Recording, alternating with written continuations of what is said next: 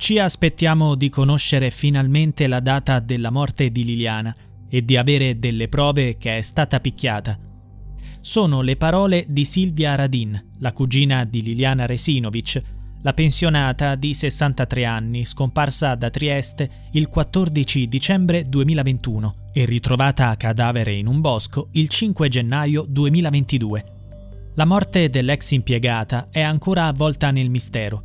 La procura aveva chiesto di archiviare il caso come suicidio, ma i familiari si sono opposti e hanno ottenuto nuove indagini, tuttora in corso. Secondo i parenti, Liliana è stata assassinata c'è una novità. Tra pochi giorni il suo cadavere verrà riesumato. Si tratta di un atto doloroso ma necessario per permettere agli esperti di fare una nuova autopsia. La data in cui verrà fatto l'esame è quella del 15 febbraio. Ci siamo quasi, manca davvero poco. A cercare di rispondere a tutte le domande che ruotano intorno a questo misterioso caso sarà un luminare della medicina legale, la dottoressa Cristina Cattaneo, Torniamo alla cugina Silvia. Ha dichiarato: Sogno sempre Liliana che mi dice: State tranquilli, capirete tutto. Il suo corpo parlerà, ne sono sicura. Le ho chiesto perdono per quello che le faranno, ma era necessario. Bisogna capire una volta per tutte. Gli esami eseguiti immediatamente dopo il ritrovamento del cadavere stabilirono che la donna non aveva assunto farmaci e godeva di buona salute. Il corpo presentava alcune lesioni, soprattutto al viso.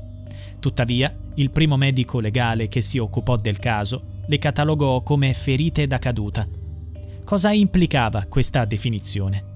Sostanzialmente che secondo l'ipotesi avanzata, Liliana, dopo essersi recata nel bosco per suicidarsi, sarebbe inciampata in un arbusto, cadendo e ferendosi, oppure, a causa della difficoltà del terreno e della scarsa visibilità, avrebbe urtato il viso contro un albero.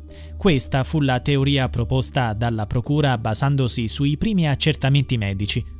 Per la famiglia, le lesioni non sembravano compatibili con un semplice incidente. Il fratello Sergio si è esposto pubblicamente, dichiarando che la povera Lilly sarebbe stata picchiata con violenza. Riguardo al suicidio, il giudice ha respinto categoricamente questa ipotesi. Nel giugno dello scorso anno, ha respinto la richiesta di archiviazione, ordinando nuove indagini e individuando 14 punti chiave su cui concentrarsi.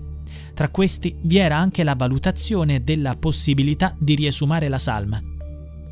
Il magistrato aveva infatti ordinato una nuova consulenza medico-legale per descrivere e accertare le lesioni riscontrate sul cadavere di Liliana, la loro origine, il mezzo che le ha causate, la datazione e ogni altro elemento utile a qualificare il decesso come conseguenza di un suicidio o di un evento attribuibile a terzi.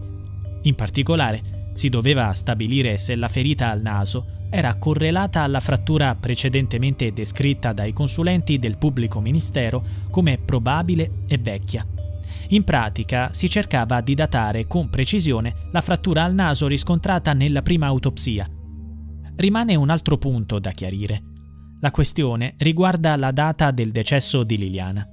Il primo medico legale stabilì che la pensionata era morta tra le 48 e le 60 ore prima del ritrovamento del suo cadavere nel bosco. Questa affermazione sollevò molte perplessità. Se fosse stata corretta, Liliana sarebbe deceduta il 2 o il 3 gennaio. Tuttavia, considerando che era scomparsa il 14 dicembre, Ciò solleva l'interrogativo. Dov'è stata per quei 20 giorni? Non aveva con sé né soldi, né documenti, né cellulare, e nessuno l'aveva vista in giro. È plausibile che si sia nascosta per settimane, solo per raggiungere successivamente il bosco e compiere un suicidio, indossando gli stessi vestiti che aveva quando sparì. Questa ipotesi appare improbabile. Allo stesso modo, Sembra difficile credere che Liliana sia stata uccisa il 14 dicembre 2021 e conservata in un luogo ghiacciato fino al 2-3 gennaio 2022, quando è stata poi trasportata nel bosco. Per verificare questa ipotesi, Il giudice ha suggerito di procedere con la misurazione di un enzima mediante un prelievo dei muscoli al fine di verificare la fondatezza dell'ipotesi di congelamento o raffreddamento del cadavere.